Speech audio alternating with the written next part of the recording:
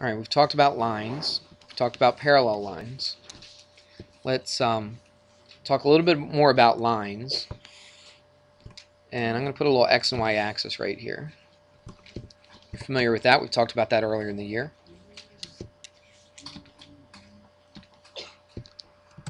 Let's put a line about like that.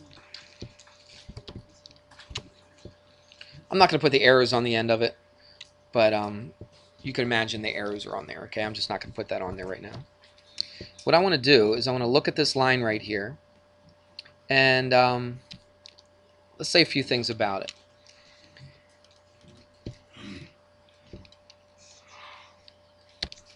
Let's take a look at this line. I want to see how it's slanted. Okay, if you look at it from left to right, if you look at it from left to right, and let's say you were either walking up or down, which would you walk? Would you walk up the hill or down the hill if you're going from left to right? You're going up the hill, right? So, um, my marker, there it is. Okay, so you're going up the hill. So you're going up. So any line that is slanted from left to right, if it's going up, we call this a positive. Oh, that's too thick. Let's write like this. We call this, it's got a positive slant, but we don't call it a slant in math. What do we call it? You've done this in Algebra 1. It starts with an S, even starts with an SL. Slope. This is the slope of a line.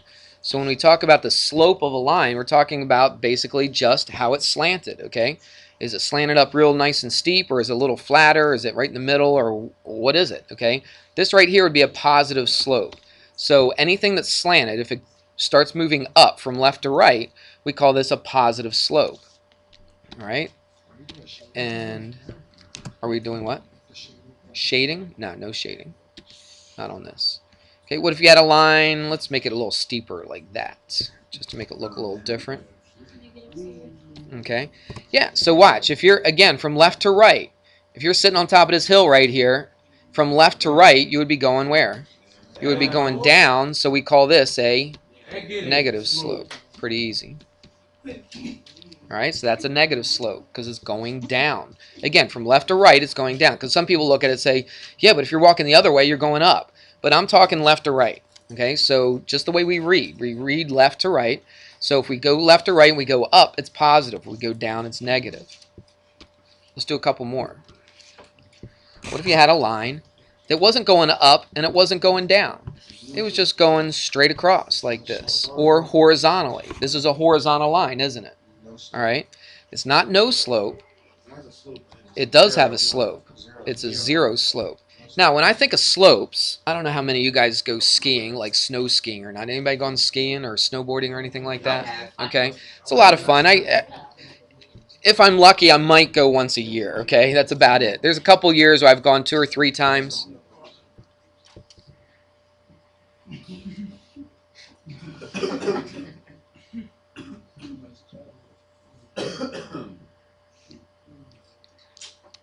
There's a few years I might have gone two or three times, but it's kind of expensive and it's kind of tough to get to. So, um, so I don't ski that often. But when I do, I enjoy it, and I do fairly well. I go down the big hills and all that kind of stuff. No, this is not back and forth. This is just me. Okay. I know. That's what I meant. It's not back and forth. It's just me telling stories. So just listen to me.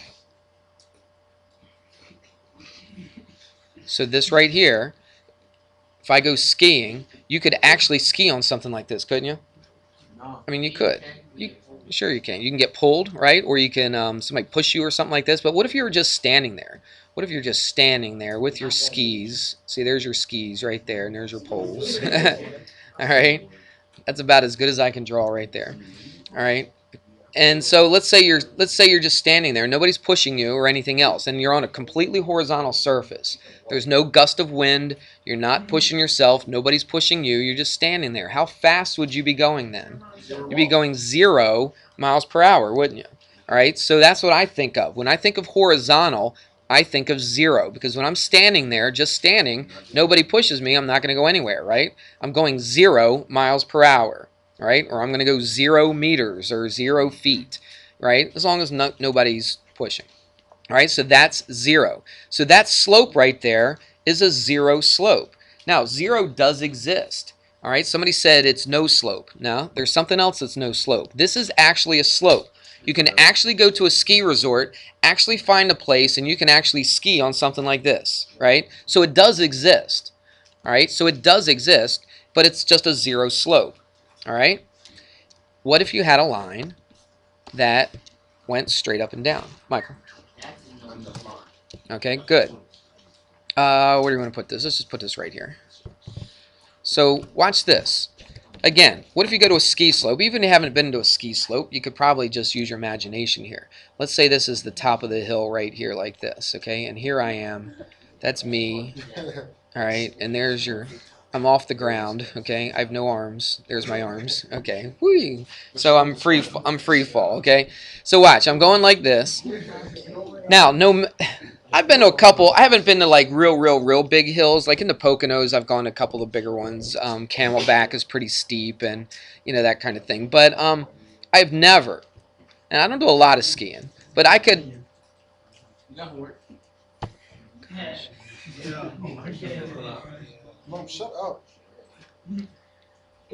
So if I'm standing on top of this hill, and if it went straight down like this, they're not going to advertise it. They're not going to say, like, I don't know if you've been skiing, but they have different colors or dis- different slopes. Like the easier ones are usually green. Then if it gets a little bit tougher, it's blue. Then you get to the really tough ones at the top of the mountains. And what is it? They're black. Black diamonds is what they call them. Like double black diamond. I don't even know how many diamonds they have on them. But I've seen double or triple black diamonds, I guess. I don't know. But they're pretty steep. I mean, you look down, you almost think you're going straight down on some of these, and it's a little scary. But I have never, ever seen it advertised that, okay, here's a quadruple black diamond, and let go straight down like this. Pick up your parachute while you're there, right? So you've never seen this. This doesn't exist. There is no now, there are hills that look like this, okay, but it's not a slope. It's nothing that you would ski down. So it's it doesn't exist, okay? So watch. It does not exist. Or, Michael, how'd you say it? You said it's undefined. Let me give you another way to remember undefined, okay? Or you could say no slope. Right, John said no slope. Because look, that doesn't exist. There is no slope. This is not a slope at all. It's not zero slope because zero slope is something. Zero is something that exists. All right, so that does exist. You can go to the ski slope and see something like this, okay, before you get onto the, what do you call those things that go up to the top? The lifts, right, the ski lifts, right. Okay, so, um, but this does not exist. This is no slope. You'll never see this advertised at a ski resort to go down something like this, all right? That's no slope. There's a big difference. So a vertical line is no slope you could think of it as undefined as well. There's no, and we'll talk more specifically about this a little bit. But let's say I actually did go down this, and it was really, really tall. Okay, guess what would be left of me down the bottom of it? Nothing. Okay, there'd be nothing left of me. They they wouldn't be able to identify my remains probably. Okay, depending on how high the mountain is. Okay, I would be what? I'd be undefined down here in a mess. All right. So I would be undefined. So think of that. When you think of what zero is, when you think of what zero slope is, as opposed to this one right here, remember these little analogies, these little pictures that I'm trying to, to get you uh, to think about in your mind.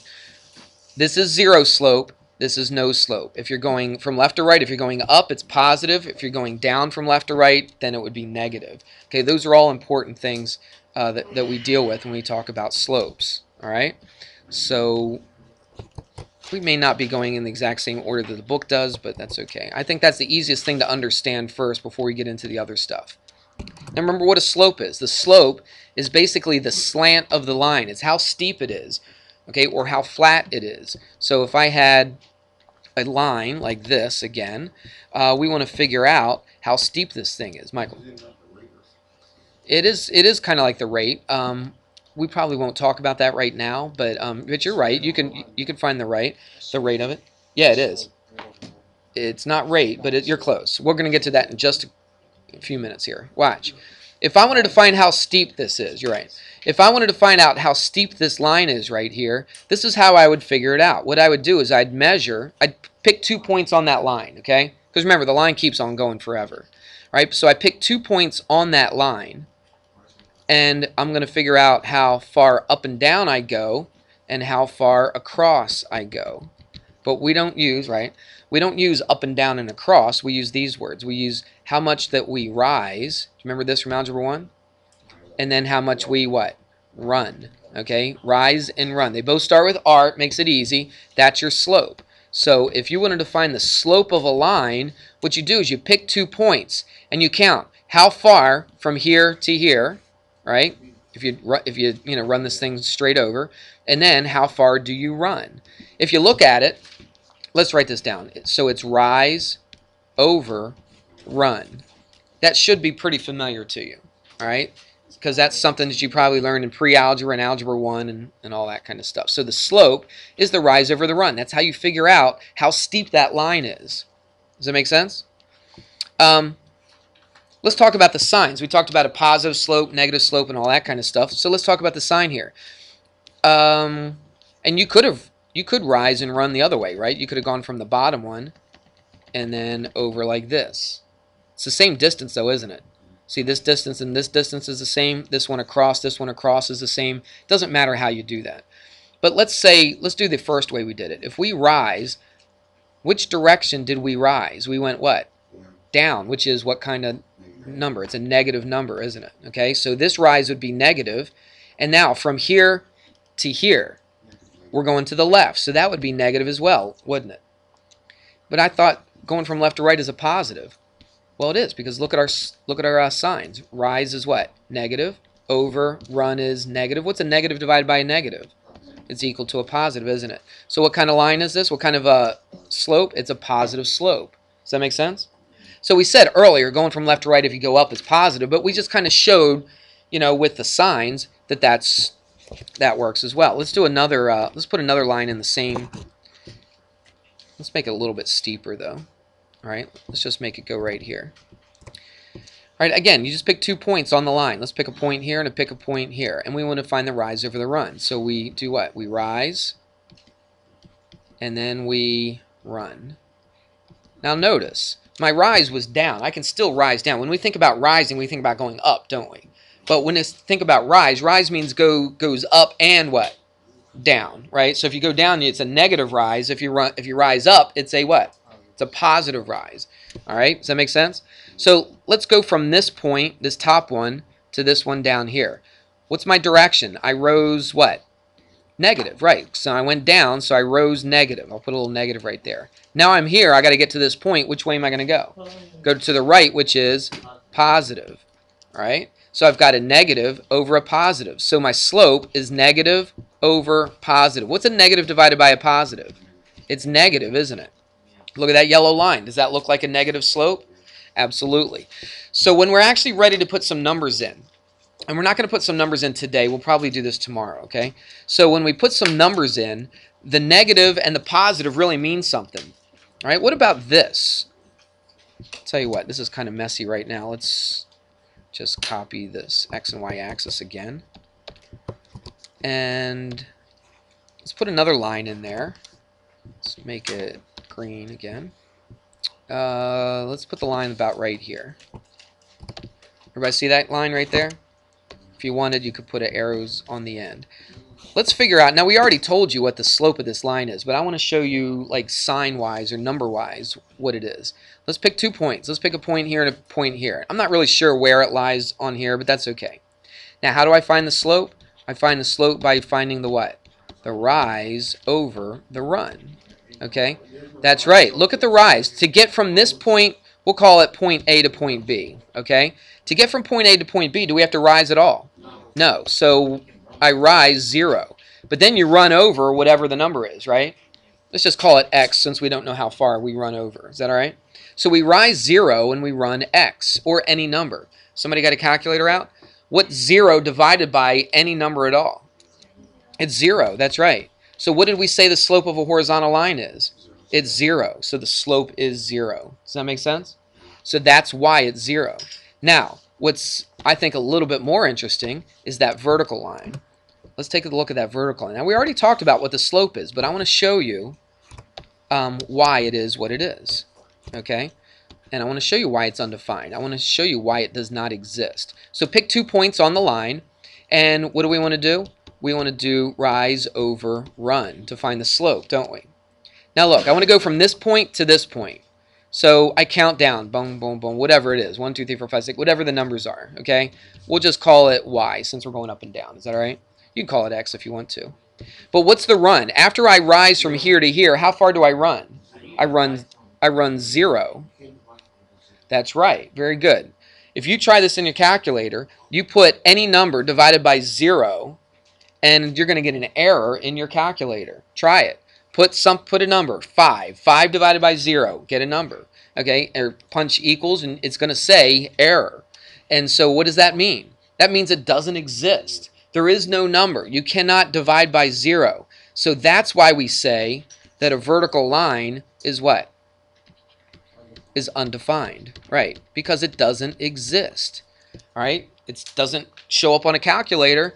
There's no number, there's no slope for this, all right? So undefined, or you could say no slope, all right? That would be perfectly acceptable, all right? Or you could say it doesn't exist. That would be fine too. But most of the time, people would usually say it's undefined or say no slope. Sometimes uh, some teachers teach it empty set or the null set. You ever hear of the null set? Looks like that. Remember doing that stuff? Maybe like in, in middle school, you did like empty set or like this. I did that last. You remember doing that kind of thing? All right, it means it doesn't exist. It means there's nothing in there. It doesn't mean it's zero. Zero's different. Zero does exist. Are you listening? Zero does exist. Zero is a number. It's on our number line. All right? So this is not zero. This doesn't exist at all. That slope does not exist. Now the line exists, but the slope doesn't exist. All right? It's just like when you're skiing. You would never ever see a slope like that. All right? So it does not exist. Does that make any sense? All right. So I kind of showed you why this was positive, why this was negative, um, why this was zero, and why this was undefined. Hopefully that helps a little bit um, on understanding those things. Now tomorrow what we're going to do is we're going to start putting some numbers in here and figure out what the slopes actually are and figure out all that kind of thing. All right, so that's what we'll do tomorrow. I'm not even going to give you a worksheet today. We'll just finish this up tomorrow. I'll give you a worksheet tomorrow. Um, for those guys who are football players, um, I'm going to give you a worksheet today in case you don't get it tomorrow, okay?